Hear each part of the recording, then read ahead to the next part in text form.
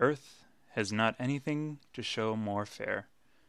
Dull would he be of soul who could pass by A sight so touching in its majesty. This city now doth, like a garment, wear The beauty of the morning, silent, bare.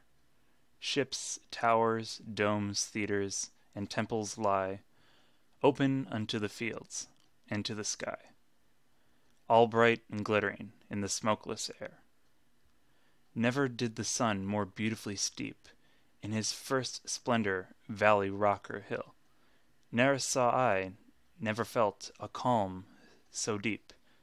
The river glideth at his own sweet will. Dear God!